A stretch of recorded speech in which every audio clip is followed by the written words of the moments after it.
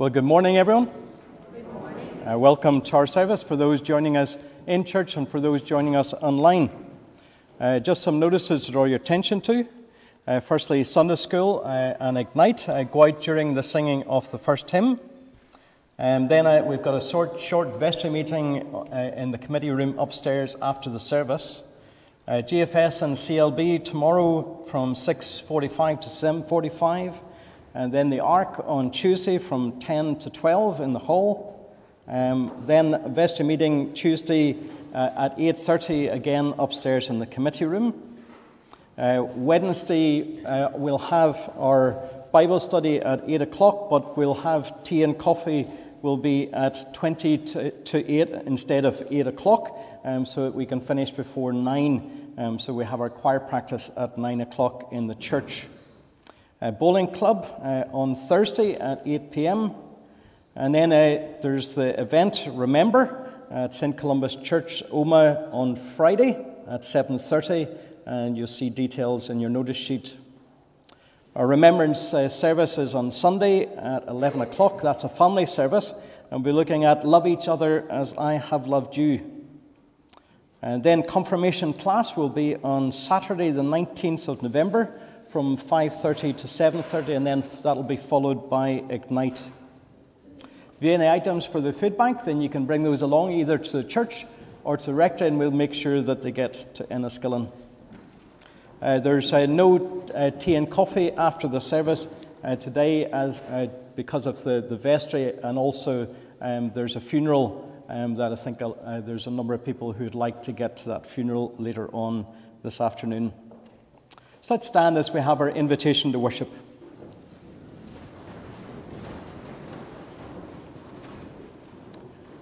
This is the day that the Lord has made. We will rejoice and be glad in it. Lord, direct our thoughts. Help us to pray and lift up our hearts to worship you in spirit and truth. Through Jesus Christ our Lord. Amen. Amen. The Spirit of God fills the whole world. Come, let us worship. And begin our service by singing, My Hope is Built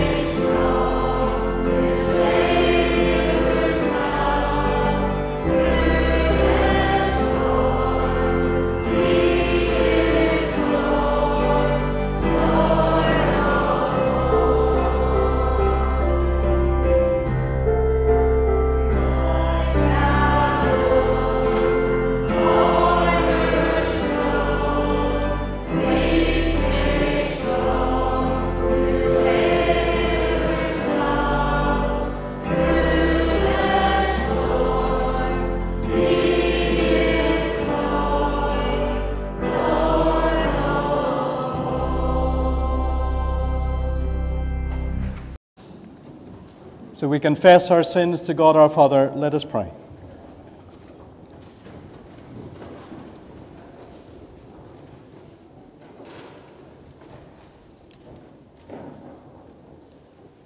And together we say, Heavenly Father, Heavenly Father, we have sinned against you and against our neighbour in thought and word and deed, through negligence, through weakness, through our own deliberate fault, by what we have done and by what we have failed to do, we are truly sorry and repent of all our sins.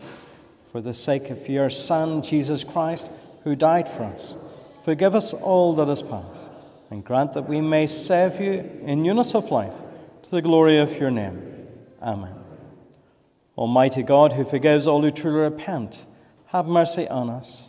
Pardon and deliver us from all our sins, confirm and strengthen us in all goodness and keep us in eternal life through Jesus Christ our Lord.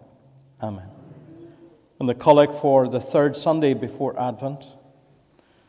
Almighty Father, whose will it is to restore all things in your beloved Son, the King of all, govern the hearts and minds of those in authority, and bring the families of the nations, divided and torn apart by the ravages of sin, to be subject to his just and gentle rule, who's alive and reigns with you in the Holy Spirit, one God, now and forever. Amen. Now, Charles is going to come and read our reading. A reading from 2 Thessalonians chapter 2, beginning at verse 1.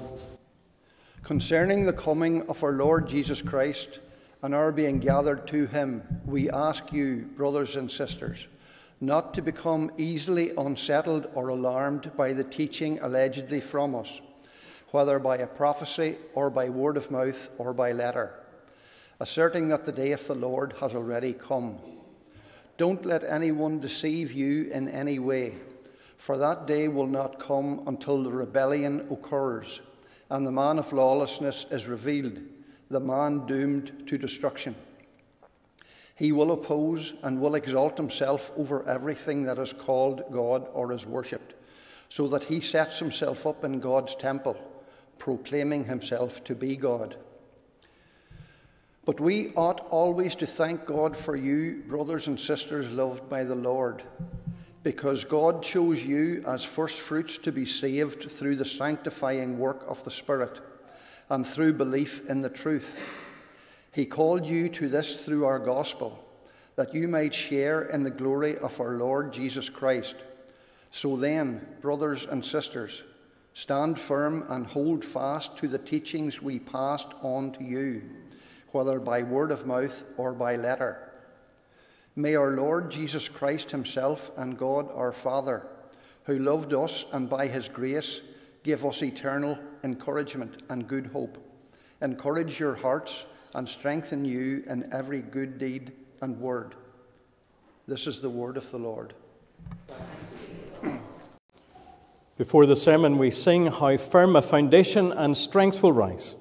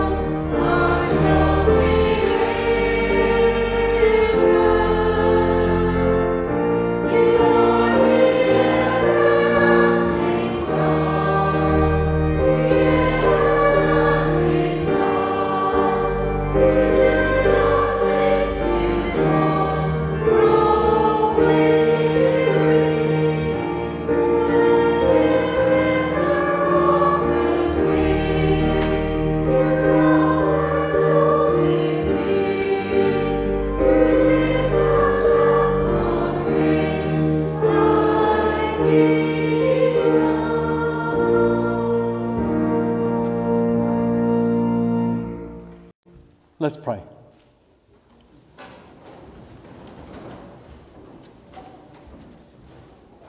Father, I pray you take my lips and use them that you'd speak through them for your name's sake and for your glory. Amen.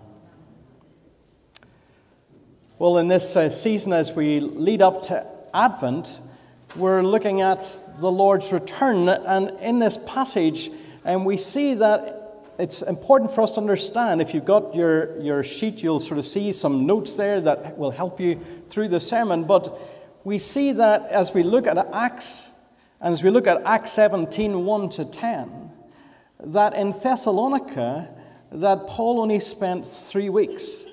We, it says about him being at the synagogue for three Sabbaths.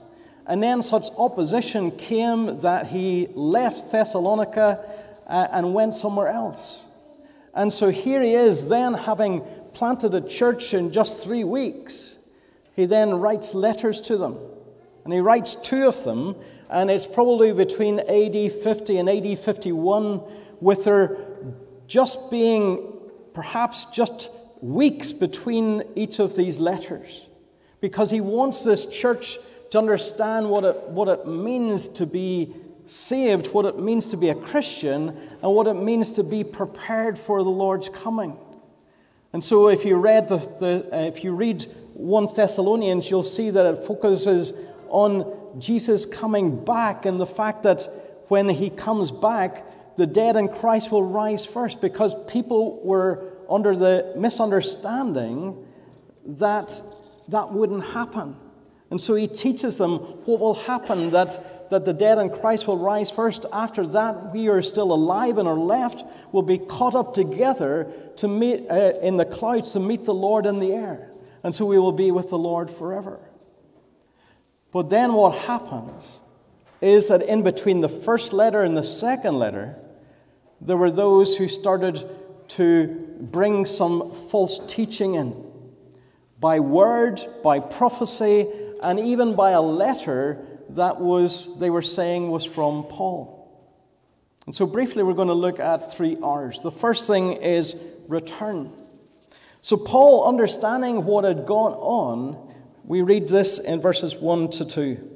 Concerning the coming of the Lord Jesus Christ and our being gathered to him, we ask you, brothers and sisters, not to become easily unsettled or alarmed by the teaching from us, whether by, word, by a prophecy or by word of mouth or by letter, asserting that the Lord has already come. So that was the false teaching that was coming that because the church was undergoing such persecution, there were those who were teaching that they were already in what was called the tribulation and that Jesus had already come again. And so, what was happening was that people were even stopping working because they were expecting to be taken up already. They were stopping the things that they should have been doing. They were focusing on the wrong thing because of wrong teaching. In 1, 2 Thessalonians 1 4, Paul refers to all the persecutions and trials you're enduring. So they were, because of persecution and trials, they were thinking, well, the Lord has come. What was Paul saying? He's saying, the Lord hasn't come yet. And there are certain signs that we will have, particularly, he refers to this man of lawlessness uh, that the Antichrist will come first. And if you read Revelations, there's a, a specific period of time where he will be allowed to basically to, to perform what he's doing on the earth until the Lord comes. But we shouldn't be focused so much on signs as we should be focused on the Lord.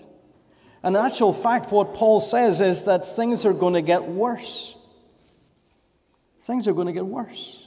And he says that in 2 Timothy chapter 3 that things are going to get darker, so they're going to get darker before the light dawns.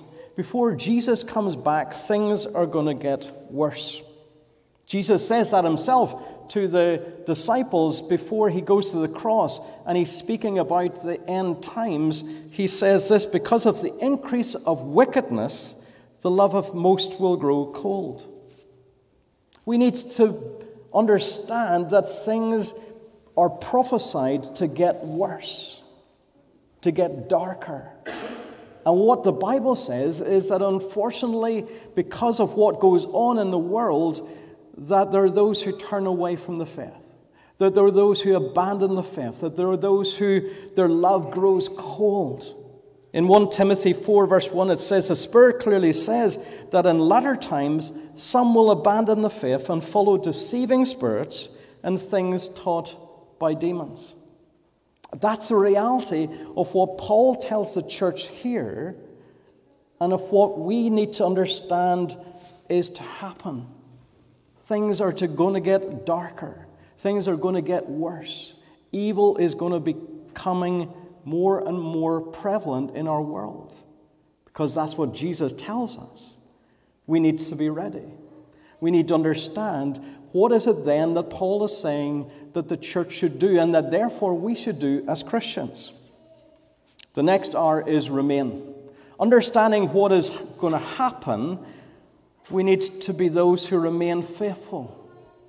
And so he says, so after telling uh, them about what's going to happen, and then reminding them about what God has done in their lives, that they're, that they're saved because of a work of the Holy Spirit, then he goes on to say, So then, brothers and sisters, stand firm. Hold fast to the teachings we passed on to you, whether by word of mouth or by letter. The things that Paul passed on to them uh, when he was there for those short period of time, and the things that he wrote in letters, and the things that were passed on through other letters that would be circulating around the church. They were to hold on to those things. They were to hold on to the gospel, the good news. They were to make sure that that was something that they stood firm on. You were to stand firm means that you're saying that you're not going to give any ground, you're going to stand where you are. Why do we stand firm? Because we know that what we're standing on is firm foundation. As long as we're standing on the truth, on the gospel, on the things that have been revealed by God, by His Spirit, and through Jesus, then that's a firm foundation. That's why Jesus says about the, the wise builder is the one who builds their life by putting into practice what he said. That's the firm foundation. That's the place where we need to be. In Matthew 24, verse 13, which is the verse immediately after Jesus talking about the love of most will grow cold, he says, But the one who stands firm to the end will be saved. So we need to understand that it's important that it's not just how we begin that's important. So coming to faith, yes, is important, but if we don't remain faithful to the end, then it's no use. We need to be those who stand firm to the end because Jesus says they are the ones who will be saved.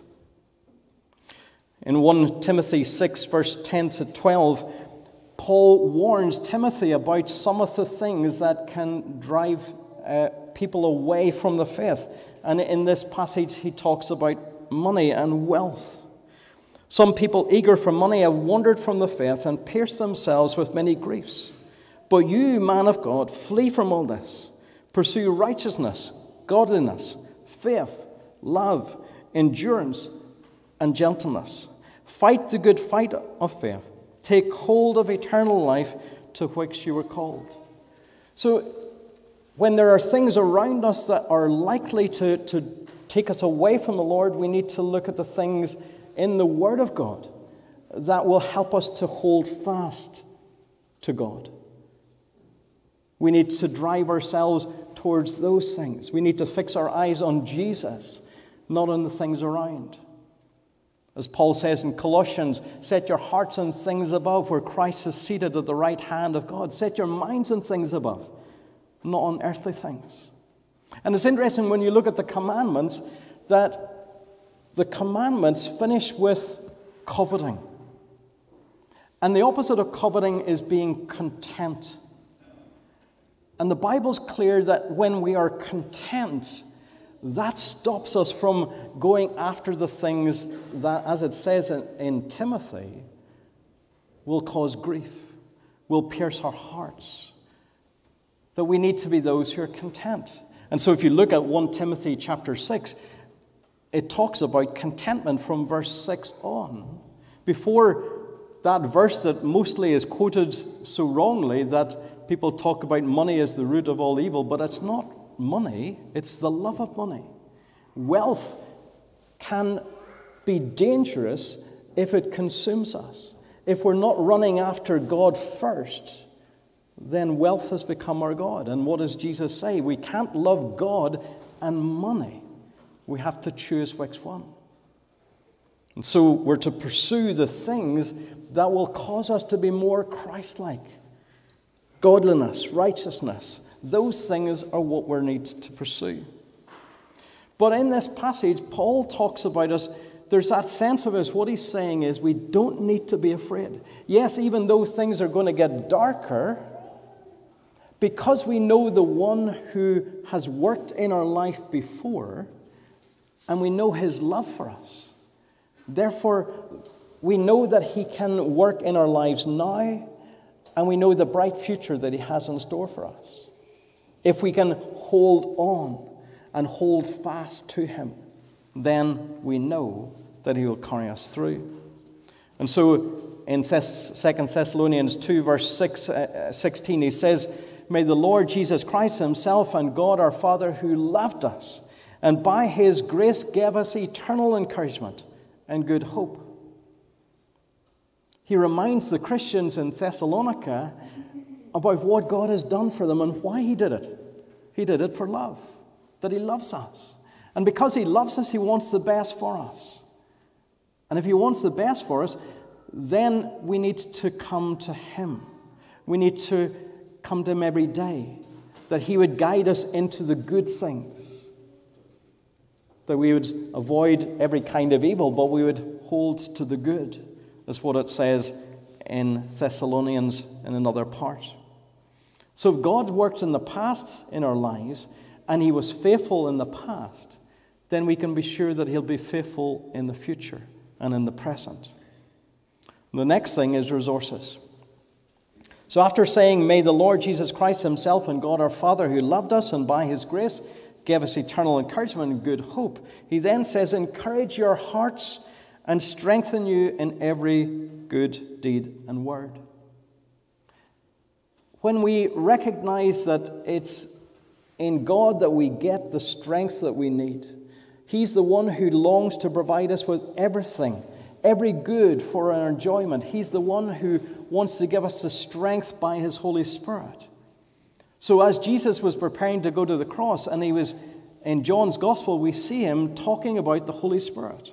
And he talks about the Holy Spirit, uh, the word is paraclete in the Greek.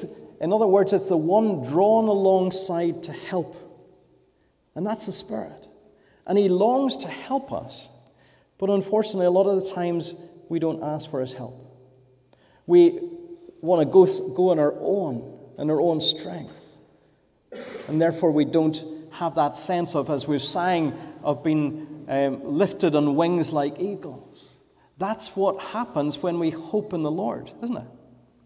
Those who hope in the Lord will renew their strength. They will mount on wings like eagles. They will run and not go. They will walk but not be faint. But the opposite of that is true that if we're not hoping in the Lord, then we will faint. We will fall. It's only in Him that we get the strength to go along each day. And we see Jesus at the, at the point in his, in his life when he was going, uh, heading towards the cross and in that garden, what does he do? He cries out to the Father. And even though the, he knows that his prayer, his request for the cup to be removed, isn't going to be answered. What do we see? We see that angels come and strengthen him. I think sometimes we, we bypass that part and we don't see that there are times when Jesus was strengthened. And if he needed that strength and, and he came to the Father for it, then how much more do we need the strength that he will provide? And so in Ephesians chapter 6, Paul, talking about standing firm again, he reminds the Christians in Ephesus, and the letter of Ephesians was a circular letter. So this would have gone round to all the churches. And he talks about the armor of God. Verse 10, he says, Be strong in the Lord and, and in his mighty power. Put on the full armor of God so that you can take your stand against the devil's schemes. For our struggle is not against flesh and blood, but against the principalities, against the powers of this dark world, and against the spiritual forces of evil in the heavenly realms. He reminds us that our battle is not against flesh and blood. The reason why we need God's strength it's not a battle that's with flesh and blood. We're in a spiritual battle. Therefore, we need spiritual weapons and spiritual armor, protection, if we're to stand. And so he goes on to say, therefore, put on the full armor of God, so that when the day of evil comes, you see, see what that's talking about? As things get worse, then we need to come to God more. So when the day of evil comes, you may be able to stand your ground, and after you have done everything to stand, stand firm then with the belt of truth buckled around your waist. And then he goes through the different things that we have to put on. So the breastplate of righteousness, it's covering our hearts. That we're reminded that we're not righteous because of our own doing, but because we're taking on the righteousness of Jesus if we accept what he did on the cross. Our minds are protected by, by the helmet of salvation, which we read in another part is about hope. So, hope guards our minds, that we recognize that, there, that we have hope, that there is eternal life for those who remain faithful to the end. But we have the sword of the Spirit, which is the Word of God. We have our feet fitted with the readiness that comes from the gospel of peace. But the interesting one is the shield of faith. Because remember, as Paul was talking about this, he was looking at soldiers. He was looking at the guards who were guarding him in prison. And he knew what those soldiers were like. And it's almost like the, the Lord gave him a picture of the, what is in the physical can be also in the spiritual. The reason why the Romans were so good at conquering nations was that they worked together that they locked their shields so that they came with two shield wall towards the opposing army. And so it's talking about unity. That the shield of faith is not just something that we wield ourselves, but it's something that we come together as Christians. And that shield of faith, the interesting thing was that it was dipped in water. It was leather and it was dipped in water, and that water then meant that when a fiery arrow hit it, it went out. So, what, is, what does Paul say in Ephesians 6? He says, With which you can extinguish all the flaming arrows of the evil one.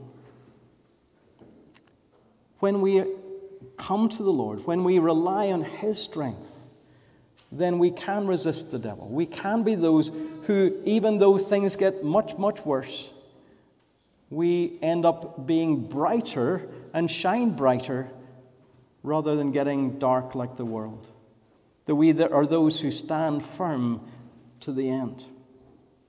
And in conclusion, Philippians 1:27, Paul talking to the Philippian church, he talks about this unity.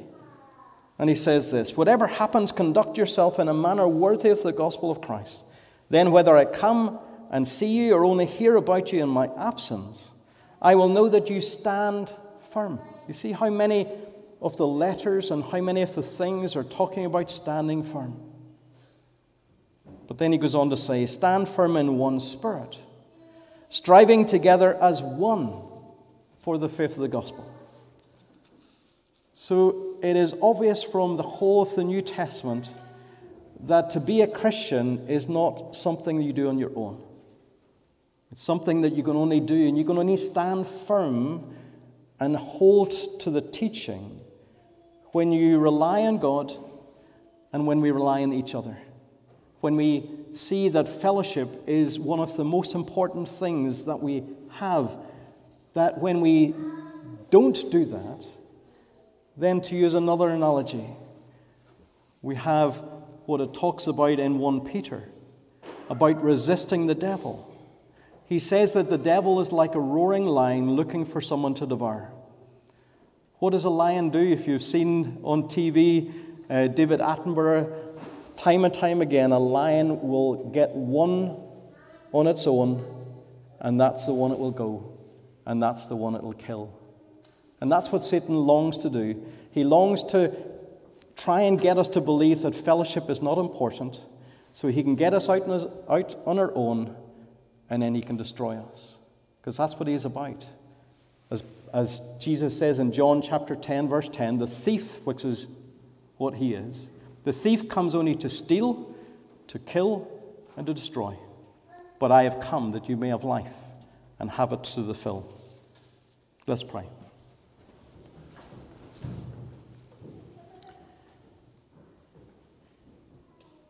Father, we thank you for your deep love for us. That we're reminded in this passage about what you have done for us and what it, you have in store for us if we stand firm to the end. Lord, we pray that today you'd help us. That, Lord, that we would make that decision to prioritize things in our life that will help us to be those who do stand firm to the end that you'd help us, Lord, to rely on you and to rely on one another. That in our fellowship we would grow strong. That we would be lights in the darkness and salt in the earth. And all for your glory. Amen. So, in response, we sing by faith.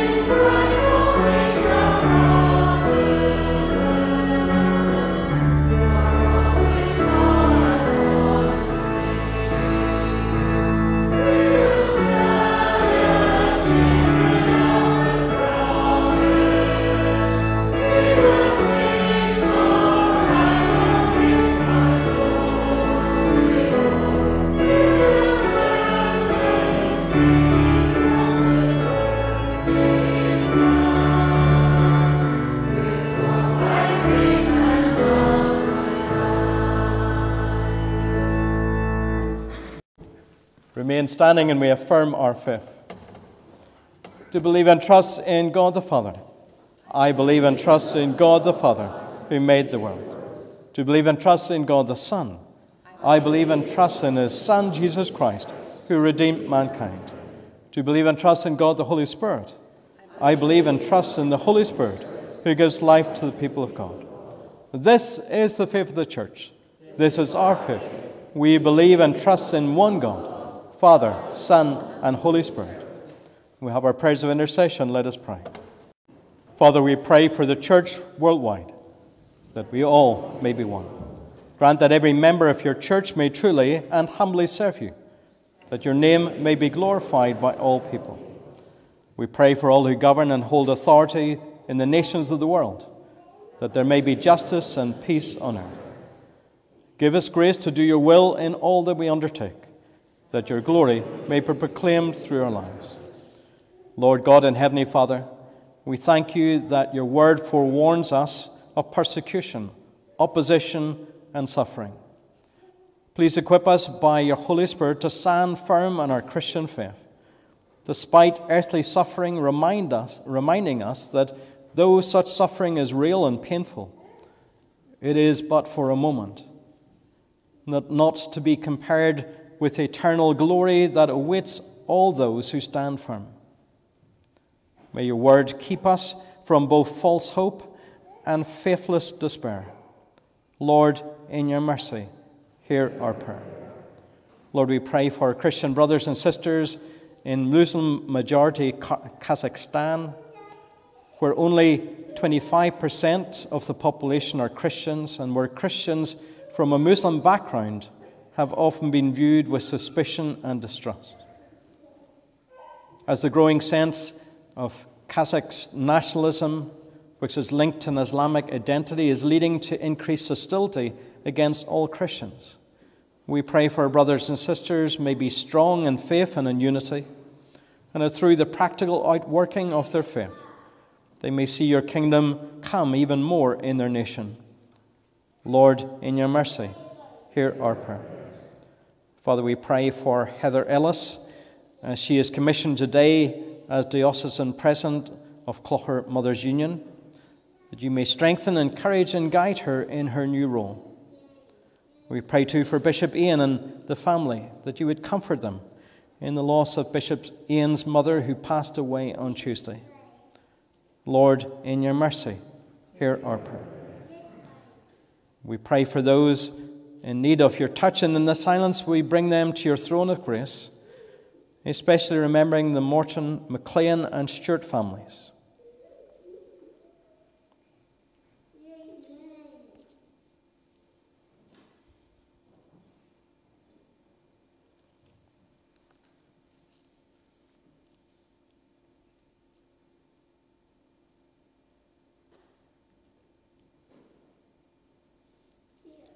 Together we say, stretch out your hand. Stretch out your hand to bring healing to those who are sick, comfort to those who mourn, and hope to those who despair. Accept our prayers through Jesus Christ, who taught us to pray. Our Father,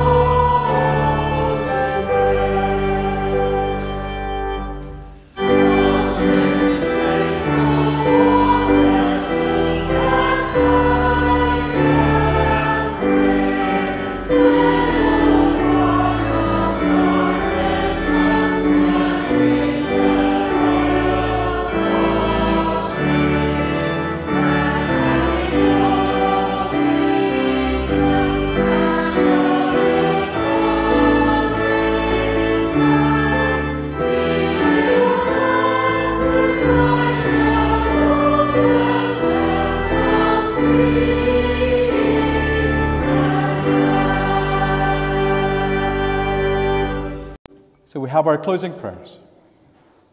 Lord Jesus Christ, you emptied yourself, taking the form of a servant. Through your love, make us servants of one another. Lord Jesus Christ, for our sake, you became poor. May our lives and gifts enrich the life of your world.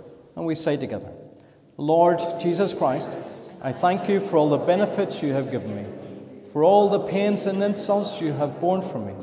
O most merciful Redeemer, friend and brother, may I see you more clearly, love you more dearly, and follow you more nearly, day by day. Amen. So we turn to one another, we say the grace together. The grace of our Lord Jesus Christ, and the love of God, and the fellowship of the Holy Spirit be with us all, evermore. Amen. So, every blessing, uh, Lorna and Petrus are going to play us out.